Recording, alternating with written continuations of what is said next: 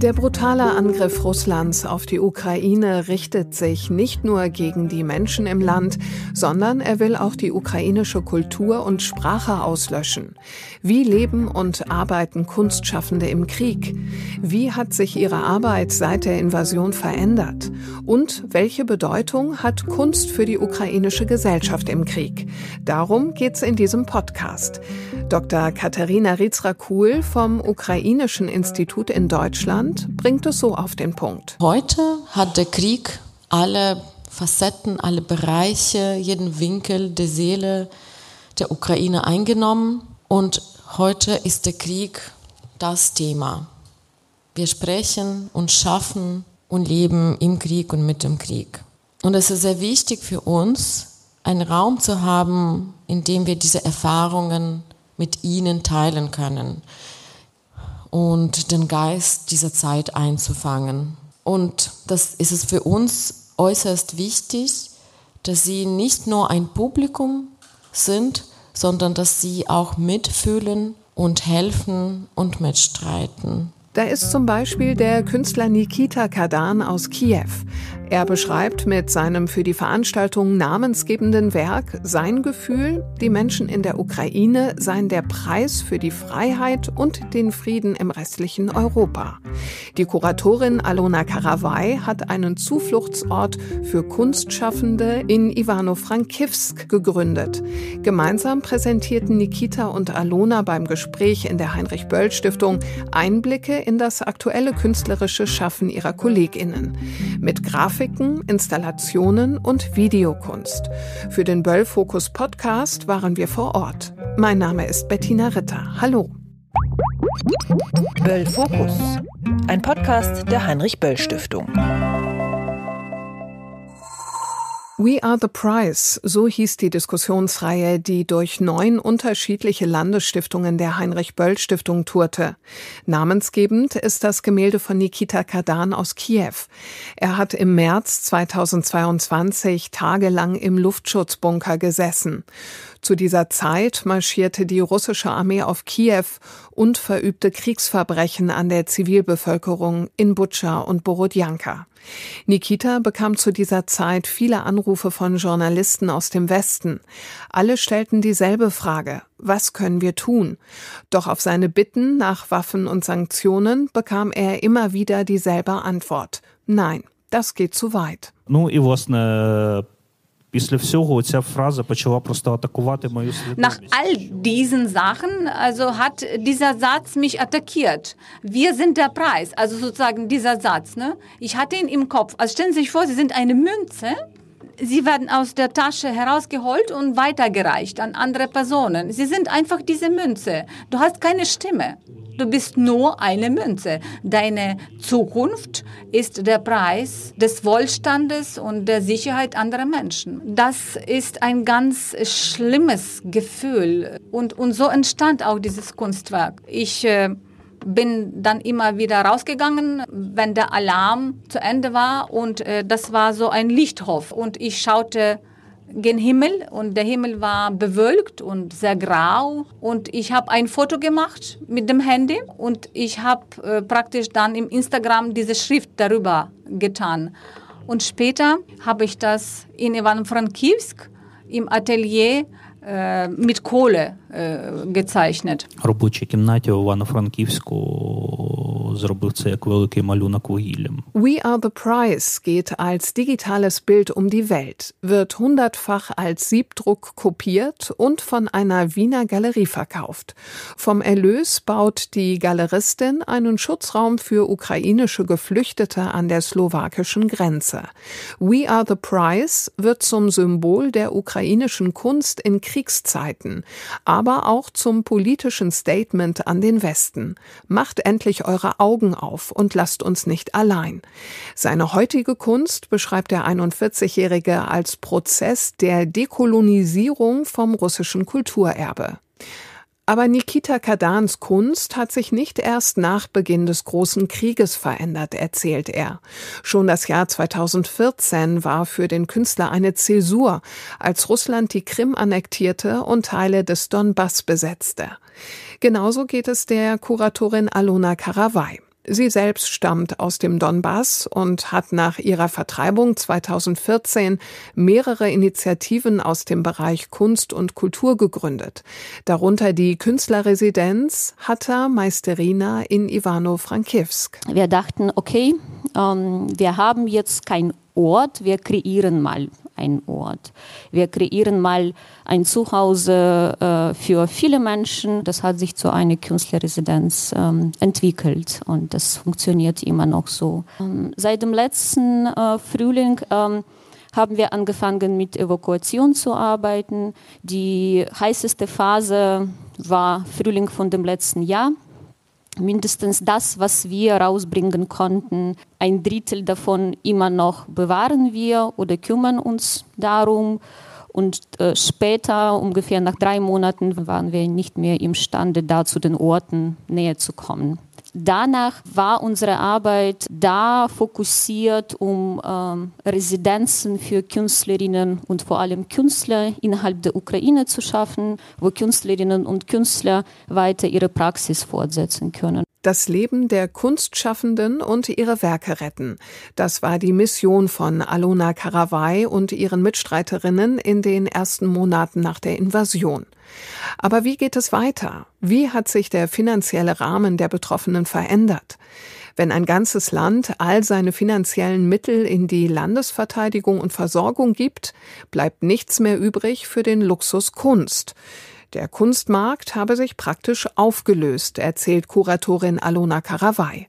Viele Kunstschaffende seien darum auf Unterstützung aus dem Ausland angewiesen. Das bestätigt auch Nikita Kadan. Були кілька ініціатив якоїсь допомоги в екстрених ситуаціях. Staatliche Unterstützung oder Förderung war früher schon mangelhaft und jetzt ist sie einfach endgültig verschwunden. Sie bleiben als eine Erinnerung, diese Notfallhilfen. Das war nur auf kurze Etappe am Anfang. Es gibt natürlich auch diesen Gender-Aspekt. Die Männer dürfen die Ukraine nicht verlassen zwischen 18 und 60, nur mit einer Genehmigung vom Kulturministerium oder vom Ukrainischen Institut. Man braucht sehr viele Unterlagen. Es ist fast unmöglich. Und viele Künstler äh, sind einfach blockiert. Sie sind wie gefangen im eigenen Land. Sie sind abgeschnitten und sie sind schon am Rande im Prinzip äh, einer Existenz. Поставлені на межу ось того професійного відповідно і особистого колапсу. Aber Kunst ist nicht gleich Kunst. Gerade in Kriegszeiten ist die Nachfrage nach patriotisch gefärbter Kunst besonders hoch. Viele Konsumentinnen suchen Trost im nationalen Zusammenhalt und seiner Symbolik. Abstrakte oder kritische Kunst ist dagegen nicht sehr gern gesehen, erzählt Nikita Kadan. Für Kunstschaffende bedeutet das automatisch ein Dilemma. Bleibe ich bei meiner kritischen, aber brotlosen Kunst oder verkaufe ich mich als Auftragskünstler? Dazu kommt, dass sich ausländische Kunden eher eine Kunst wünschen, die den Krieg aus einer kritischen Perspektive kommentiert und nicht zu sehr in nationale Symbolik verfällt. Eines ist jetzt schon klar. Der Krieg hat das künstlerische Schaffen einer ganzen Generation verändert. Є цей гігантський агресивний сусід, який теж очевидно знаходиться в стадії певної кризи. Es gibt äh, diesen großen aggressiven Nachbarn, der sich in einer Krise befindet. Und der Zerfall des imperialen Projektes äh, und Kampf ums Überleben ist nun die Geschichte, die in meiner Generation kein Ende sieht. Also es heißt, man wird sich mit diesem Gedanken arrangieren. Wenn der Himmel brennt, dann gibt es ja auch bestimmte Fröhlichkeit äh, im Gemüt. Ja, eine bestimmte Energie, Energie für den Kampf. Jedoch, wenn dieser in interner Kritiker maximal leise gedreht wird, bin ich nicht sicher, dass die Gesellschaft pluralistisch und demokratisch bleiben kann, wie die Ukraine, für die wir jetzt kämpfen плюралістичним і демократичним, власне, як та Україна, за яку ми боремося. Darum sei die wichtigste Aufgabe der kontemporären Kunstschaffenden eine neue Kultur, eine neue, weniger affektierte, realistische Sichtweise zu schaffen. das bedeutet auch, mutig gegen die Schere im Kopf anzukämpfen.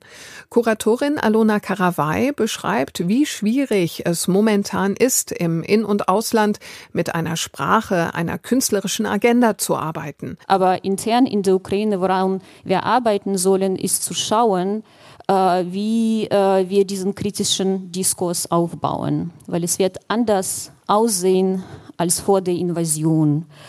Äh, das ist auch ganz einfach mit äh, vielen Traumata verbunden, dass die Menschen einfach anders miteinander reden, als sie davor geredet haben. Und äh, damit werden wir leben. Das muss man nicht verstecken. Das ist nicht peinlich. Die Traumata, die wir haben, die ukrainische Künstlerinnen und Künstler haben, sind Traumata vom kollektiven Verbrechen. Und sie dürfen offen ausgesprochen werden. Die andere Frage, wie wir, mit, wie, wie wir miteinander reden, wenn wir diese Traumata haben. Und da müssen wir irgendwie eine andere Kultur finden innerhalb der Ukraine. Doch wenn dieser Prozess der Suche nach einer inneren Sprache nicht abgeschlossen ist, wie sollen es die ukrainischen Künstlerinnen und Künstler schaffen, eine repräsentative Sprache im Ausland zu finden? Oft fehlt es dort schlicht an Empathie. Beispielsweise müsse sie sich gerade in Deutschland immer wieder dafür rechtfertigen, dass sie nicht mit russischen Kolleginnen arbeiten möchte. Alona Karawai kann das nicht verstehen. Das machen wir seit eineinhalb Jahren. Wir erklären immer wieder, warum nicht jetzt. Warum es jetzt bei vielen nicht möglich ist. Bei einigen schon, aber bei vielen nicht möglich ist. Da frage ich mich auch, wenn äh, die deutschen Kuratoren und Kuratorinnen das wagen, sind sie bereit, mit der Situation von der großen Ungleichheit zu arbeiten? Äh, viele russische Künstler, wenige ukrainische Künstler, die weniger werden, weil die einfach viele von denen ihr Leben verlieren oder nicht aus der Ukraine ausreisen können. Traumatisierte Künstler und nicht traumatisierte Künstler, sind dann einfach diese Ungleichheiten, wie stark sie sind, sind sie klar und können die deutschen Kuratoren damit arbeiten. Weil ich habe das Gefühl, die möchten einfach die ungleichen Menschen, die Menschen in ungleicher Situation so zu stellen, als ob sie gleich wären und das stimmt nicht. Im Ausland wird es für Kunstschaffende aus der Ukraine also immer schwieriger, mit ihren internationalen Kolleginnen zu konkurrieren. Aber es gibt auch immer wieder Anlässe zur Hoffnung, sagt Nikita Kadan.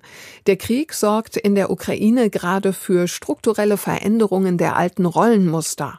Frauen, aber auch die queere Community übernehmen mittlerweile wichtige Posten in der Armee und selbst ehemals rechtsradikale Gruppierungen, die vor ein paar Jahren noch progressive Kunstausstellungen demoliert haben, treten heute gemäßigter und weniger aggressiv auf, erklärt der Künstler. Ми знаходимося у процесі такого, знаєте, просто молекулярного перетворення.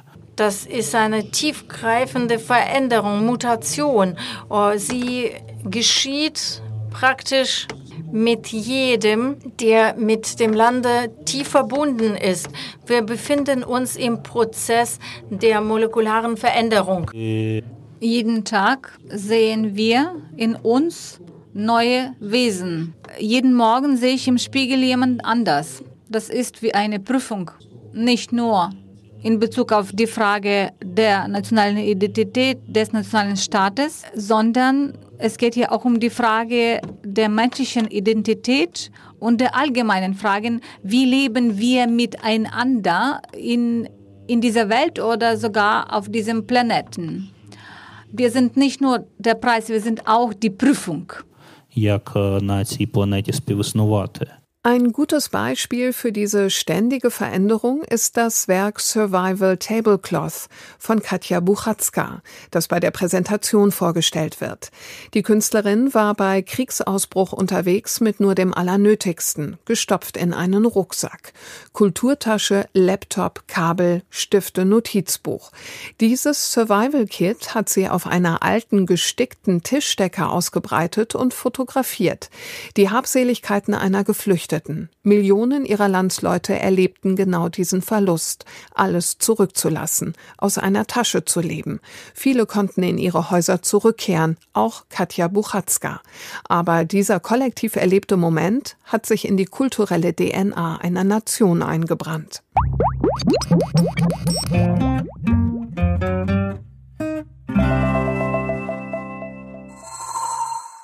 Kunst und Kultur spiegeln seit jeher die Verhältnisse und Umbrüche von Gesellschaften.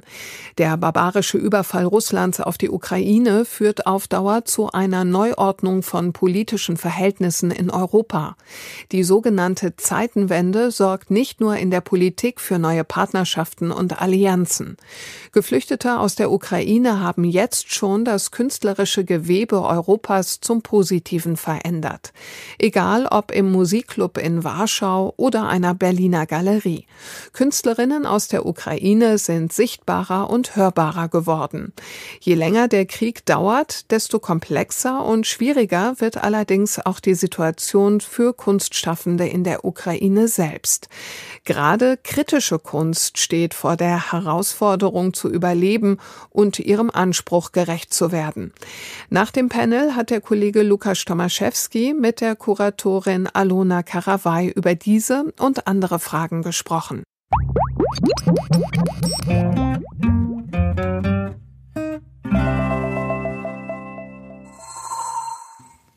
Herzlich willkommen zum Interview Alona Karawai. Äh, guten Abend, hallo. Wir fragen uns natürlich in Deutschland oder in den europäischen Nachbarländern immer, wie kann das Ausland helfen? Also was ist eine effiziente Hilfe, um den Kunst- und Kulturschaffenden, den Kunst- und Kulturbetrieb in der Ukraine zu helfen? Mhm. Residenzen sind immer noch aktuell, sowie im Ausland als auch in der Ukraine die Residenzen zu unterstützen, weil äh, männliche Künstler können nicht raus aus dem Land und das ist für sie äh, offen so fast die einzige Möglichkeit, die künstlerische Praxis fortzusetzen. Außerdem, was noch äh, hilft oder was noch so eine Win-Win-Situation sein könnte, sind ähm, Ausstellungen in Deutschland organisieren von der ukrainischen Art, aber auch von der Geschichte von der ukrainischen Art, weil wir haben die Erfahrung gemacht, dass äh, die Kunststücke, die wir evakuiert haben, haben wir später zu längeren Expositionen äh, ins Europäische Museum gebracht.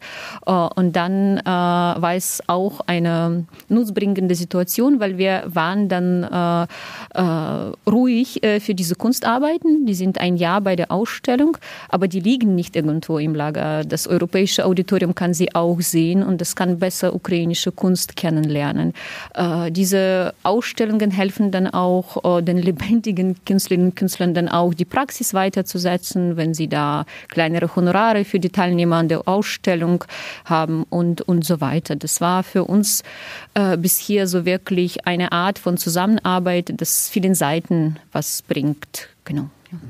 Mich würde interessieren, wie sich die Kunst, ähm, die bildende Kunst aus der Ukraine momentan verändert. Ähm, heute haben wir ja ganz, ganz unterschiedliche Werke gesehen, wirklich von äh, Videokunst äh, über dieses ähm, Tischtuch mit den Survival-Objekten äh, letztendlich, die eine Künstlerin dabei hatte auf ihrer Flucht.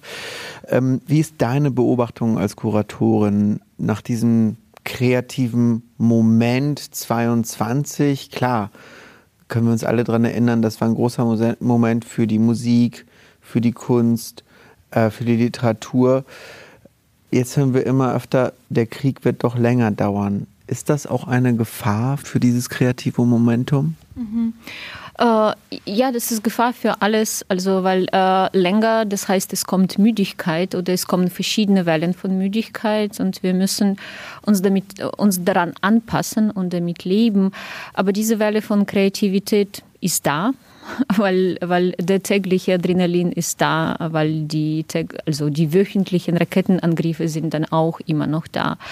Ähm, viele ukrainische Künstlerinnen und Künstler, was ich beobachte, äh, experimentieren viel mit, mit der Form, äh, weil für viele die Form, die sie früher benutzt haben, ist nicht mehr genug, um das auszusprechen, was sie jetzt aussprechen möchten Wirklich viele haben die Form mittlerweile verändert. Einige haben mit Stickerei angefangen, was Nikita heute gesagt. Also ich habe angefangen, so die äh, Doppelungen zu machen, was zu schreiben auf den Arbeiten, was ich früher nie gemacht habe, so sie doppelt zu erklären.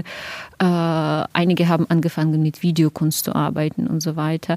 Was ich persönlich sehr spannend finde, sind diese Kollaborationen mit europäischen Künstlerinnen und Künstlern.